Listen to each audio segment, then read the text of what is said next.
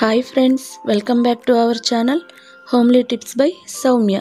ఈ వీడియోలో అమ్మవారి దేవీ నవరాత్రులు వస్తున్నాయి కదండి.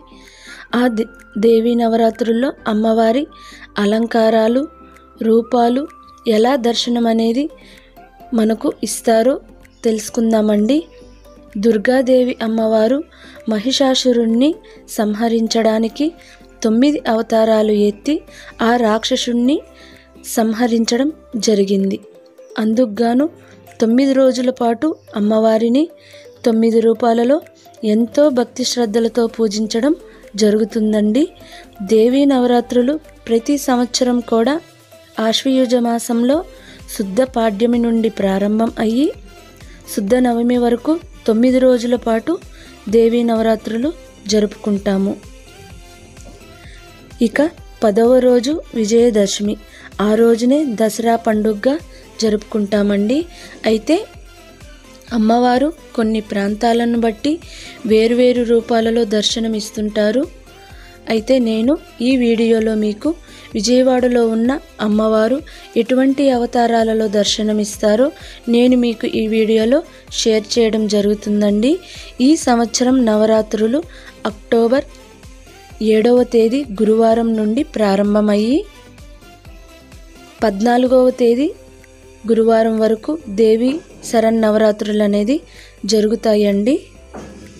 అక్టోబర్ ఏడవ తేదీ నుండి అలంకారాలు కూడా స్టార్ట్ అవ్వడం జరుగుతుంది. దేవీ నవరాత్రుల్లో మొదటి రోజు అమ్మవారి అలంకరణ శ్రీ స్వర్ణ కవచాలంకృత శ్రీ దుర్గాదేవి అలంకరణ. ఈ అమ్మవారిని దర్శించుకోవడం వల్ల సకల దరిద్రాలన్నీ కూడా తొలగిపోతాయట. దుర్గాదేవిని ఈ రూపంలో బంగారు రంగు చీర కలిగిన వస్త్రంతో అలంకరణ చేస్తారండి.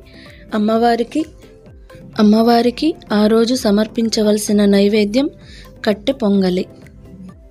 రెండవ రోజు అమ్మవారి అలంకరణ శ్రీ బాలా త్రిపుర సుందరి దేవి అలంకరణ. ఈరోజు అమ్మవారు అభయహస్త ముద్రంతో దర్శనమిస్తారండి. మనసు బుద్ధి చిత్తం అన్నీ కూడా బాలత్రిపుర సుందరీదేవి సుందరి దేవి ఆధీనంలో ఉంటాయండి. ఈ రోజున పది సంవత్సరాల్లోపు పిల్లలను బాలత్రిపుర సుందరిగా భావిస్తారు. ఈరోజు అమ్మవారిని దర్శించుకోవడం వల్ల అంతా మంచే జరుగుతుందని పురోహితులు చెబుతున్నారు.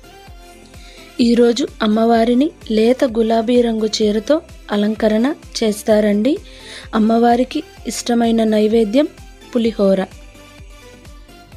మూడవ రోజు తొమ్మిదవ తేదీ శనివారం అమ్మవారు శ్రీ గాయత్రీదేవి రూపంలో పంచముఖాలతో భక్తులకు దర్శనమివ్వడం జరుగుతుందండి. ఈ అమ్మవారిని దర్శించుకోవడం వల్ల సకల మంత్రసిద్ధి ఫలాన్ని పొందుతారని పండితులు చెబుతున్నారు. ఈ రూపంలో ఉన్నటువంటి గాయత్రీదేవిని కాషాయం రంగులో ఉన్న చీరతో అలంకరణ చేస్తారండి. అదేవిధంగా అమ్మవారికి కొబ్బరి అన్నం పాయసం అనేది నైవేద్యంగా సమర్పిస్తారు. నాలుగవ రోజు పదవ తేదీ ఆదివారం అమ్మవారి అలంకరణ శ్రీ అన్నపూర్ణాదేవి రూపంలో భక్తులకు దర్శనమివ్వడం జరుగుతుందండి. ఎడమ చేతిలో బంగారు పాత్రతో తన భర్త అయిన పరమశివునికి భిక్షనందించే రూపంలో ఉన్న అమ్మవారిని దర్శించుకోవడం వల్ల ఆకలి బాధలు ఉండవని భక్తుల విశ్వాసం. ఆ రోజు అమ్మవారిని బంగారు జరీ చీరతో అలంకరణ అనేది చేస్తారండి. అమ్మవారికి ఇష్టమైన నైవేద్యం దద్దోజనం. ఐదవ రోజు పదకొండవ తేదీ సోమవారం నాడు.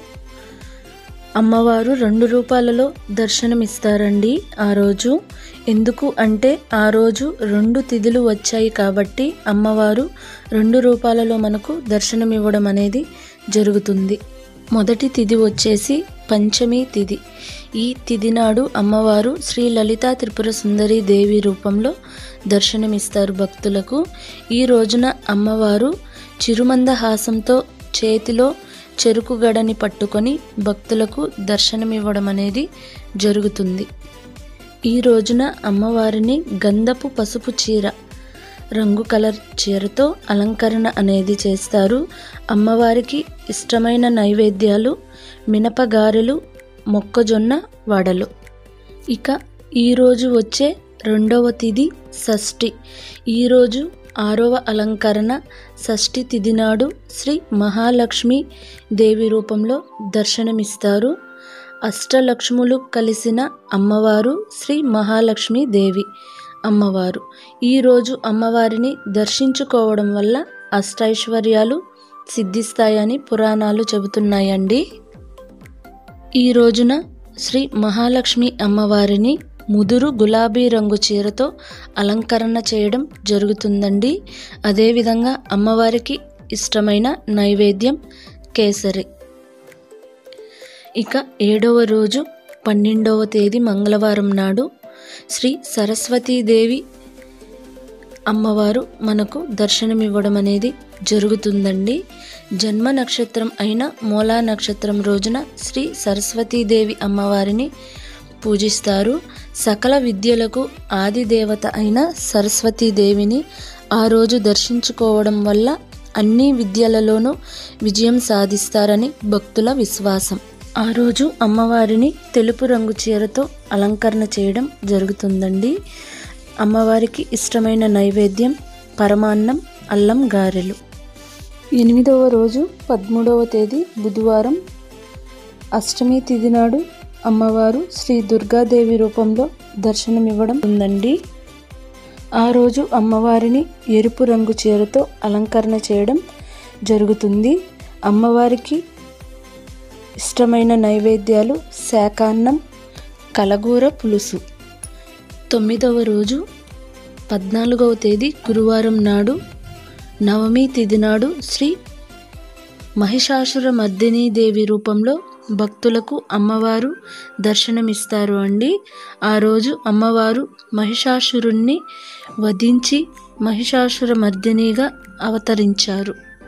అమ్మవారు ఈ రోజున ఎనిమిది భుజాలతో అష్ట ఆయుధాలతో సింహవాహినిగా రౌద్ర రూపంలో దర్శనమిస్తారు. ఈ రోజున అమ్మవారిని దర్శించుకోవడం వల్ల ఎలాంటి శత్రుభయాలు ఉన్నా కానీ పోతాయని భక్తులు నమ్ముతారు. ఈ రోజున అమ్మవారిని కాఫీ ఎరుపు రంగు కలిసిన చీరతో అలంకరణ చేయడం జరుగుతుందండి. అమ్మవారికి ఇష్టమైన నైవేద్యం చక్కెర పొంగలి. ఈ తొమ్మిది రోజులతో అమ్మవారి దేవీ నవరాత్రులు పూర్తవుతాయండి. పదవ రోజు విజయదశమి చెడుపై అమ్మ సాధించిన విజయానికి చిహ్నంగా ఈ ఆఖరి రోజున కూడా అమ్మవారు శ్రీ రాజరాజేశ్వరి దేవి రూపంలో భక్తులకు దర్శనమిస్తారు. ఈరోజు అమ్మవారు ఎంతో శాంతముగా చక్కని రూపంలో దర్శనమివ్వడం జరుగుతుందండి. ఈరోజు అమ్మవారిని ఏమైనా కోరుకున్నా అమ్మవారు నెరవేరుస్తారు. ఈ విధంగా అమ్మవారిని నవరాత్రుల్లో ఒక్కో రోజు ఒక్కో రూపంలో అమ్మవారిని భక్తి శ్రద్ధలతో నియమ నిబంధనలతో నిష్టంగా పూజిస్తారు. విజయదశమి రోజున అమ్మవారిని పచ్చరంగు చీరతో అలంకరణ చేస్తారండి. అమ్మవారికి ఇష్టమైన నైవేద్యం సేమియా పాయసం. నాకు తెలిసిన కొన్ని విషయాలను మీతో షేర్ చేసుకున్నానండి. వాచ్ చేసినందుకు thank you. Thank you so much. Please subscribe my channel.